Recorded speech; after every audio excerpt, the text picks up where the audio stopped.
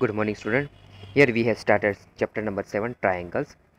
In chapter number uh, in part number 1 that we have studied about the some properties related uh, and we have discussed the axiom number 7.1 and after then we have uh, assuming this axiom 7.1 we have discussed the theorem number 7.1 now let we go ahead. Now in this lecture we are going to study some more properties of triangles. Now let for that some pro uh, properties of a triangle. For that here you can find that one triangle. You can see here one triangle with two equal sides. Here you can find abc with two equal sides. Ab is equal to ac now let we know that if there are two sides are equal in any triangle then it is called an isosceles triangle. A triangle in which two sides are equal is called an isosceles triangle. So, triangle ABC. So, you can triangle ABC as you can see in the figure is an isosceles triangle with AB is equal to AC means here AB and AC are equal as you can see 3.5 centimeter 3.5 centimeter. Now one thing if you using any protector uh, by measure uh, by the protector uh, protector if you measure the angle opposite to the equal sides angle opposite to this equal side means the uh, opposite angle of AB is C and uh, AC is B are equal so that now measure angle B and angle C then you will uh, realize that both the angle are equal you may observe that in each such triangle, the angles opposite to the equal sides are equal. So now let, by this proof, we say that it is theorem number 7.2. We say that this is a theorem number 7.2 that is angles opposite to equal sides. Angles opposite to equal sides of an isosceles triangle are equal angles opposite to equal sides angles opposite to equal sides of an isosceles triangle are equal.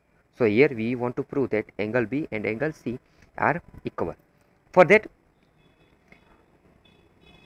now let uh, we can prove this theorem uh, by uh, many congruence rules that we have studied. Now here you can if we draw median of angle a if you draw median and angle of angle A then we or we say that bisector of angle A. Bisector of angle A as you can see here AD so here it is also bisector of uh, BC we know that in isosceles triangle if we draw bisector of uh, angle A then it is also bisector of BD means it divides angle A in two equal parts that is BAD is equal to DAC and also it divides a um, segment BC side BC in two equal parts BD equal to DC.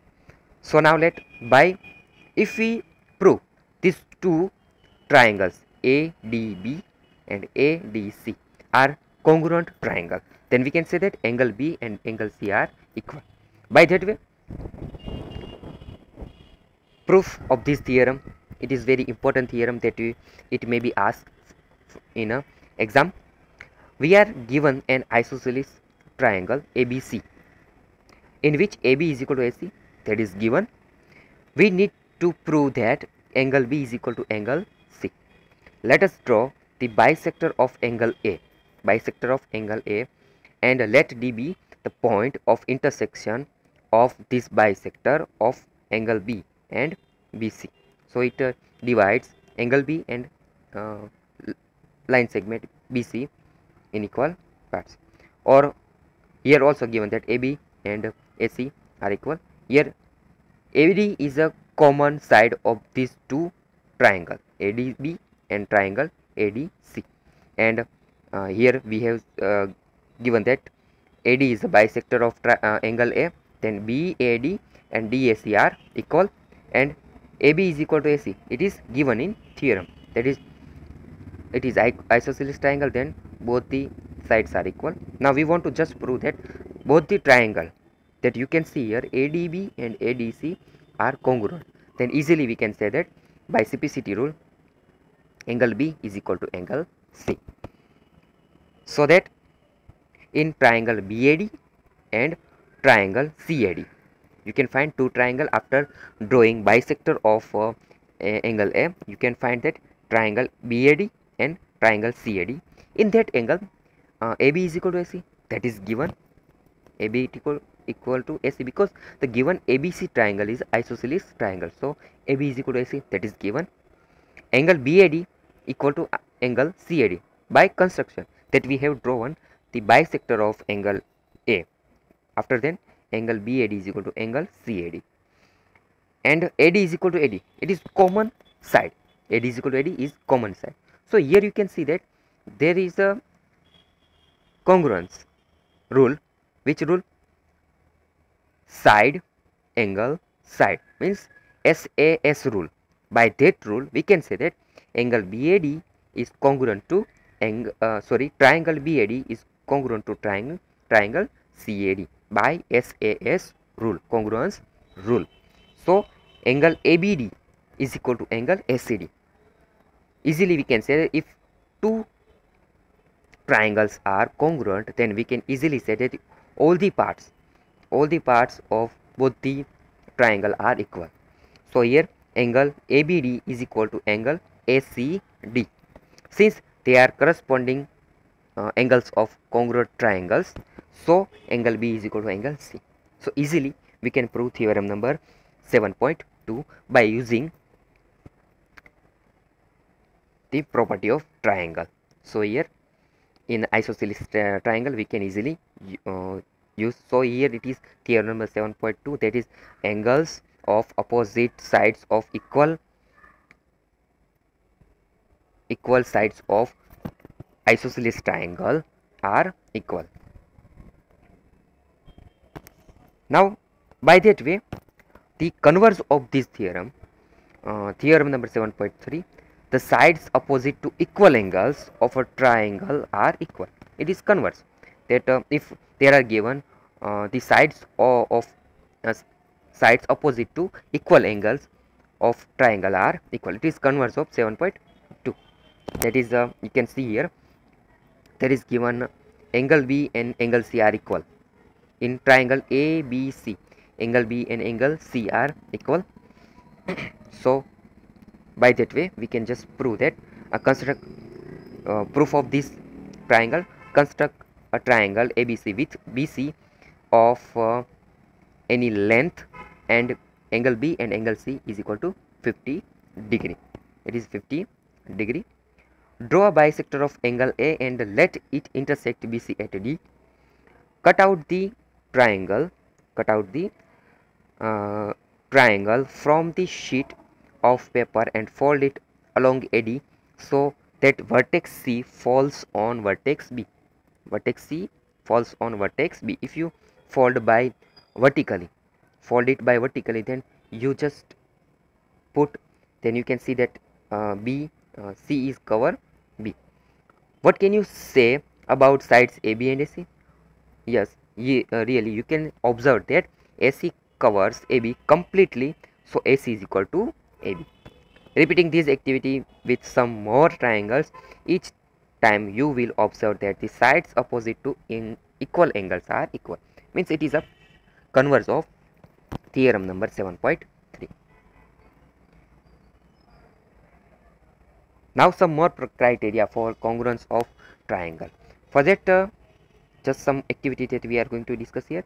That is theorem number 7.4 we know we are not going to prove this theorem just we are going to assume that this theorem theorem number 7.4 that is SSS rule means side side side rules means the three sides of a triangle is correspondence to another uh, three sides of another triangle then these two triangles are congruent triangle. So let uh, SSS uh, congruence rule that is theorem number 7.4 if three sides of one triangle if three sides of one triangle are equal to the three sides of another triangle then the two triangles are congruent. What if three sides? Three sides are equal to the another three sides of another triangle then the two triangles are congruent here you can see in the figure there is given two triangles with uh, sides 3.5 centimeter 4 centimeter and 4.5 centimeter. Here also given that triangle with same sides 4 centimeter 3.5 centimeter. If you uh, just uh, move, move this triangle in such shape and if you put on this triangle then you can you can see that the all the sides and all the angles covers this triangle. So we can say that both the triangles are congruent triangle. That uh, SSS congruence rule it is the theorem number 7.4 that is if three sides of one triangle are equal to the three sides of another triangle then the two triangles are congruent. Now let theorem number 7.5 RHS congruence rule. RHS means R refers to right angle H refers to hypotenuse and S refers to side. Means you can realize that we are going to talk about the right angle triangle. We are going to talk about right angle triangle. That is we know that in right angle triangle there is one right angle one hypotenuse uh, opposite side of right angle is hypotenuse and one side. So by that way we are going to uh, take this congruence rule. If that is theorem number 75 RHS congruence rule.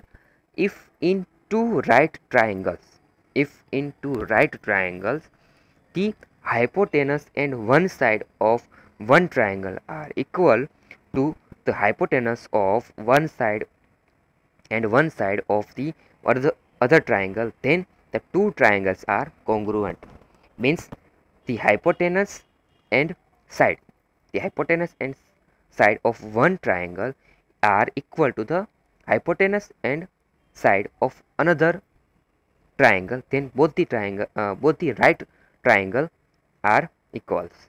As you can see here you can find that uh, here hypotenuse is 5 centimeter and another side is 4 centimeter and it is given right angle so here you can say that if this hypotenuse is equal to another uh, hypotenuse of another triangle and one side is equal to another um, one side of another triangle uh, right triangle then both the triangles are equal. So it is theorem number 7.5 that is refers to RHS congruence rule.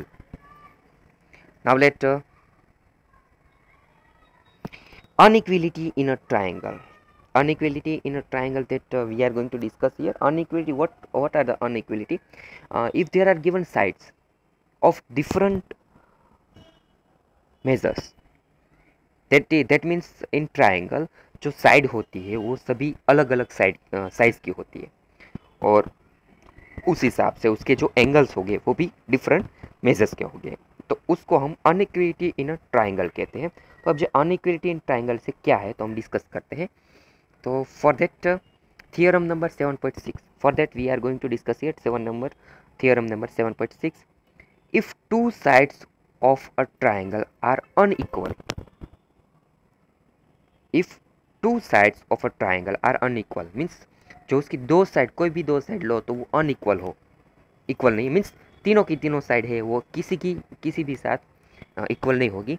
तो उसे कहते हैं कि any two side if the two side of a triangle are unequal, the angle opposite to the longer side is larger.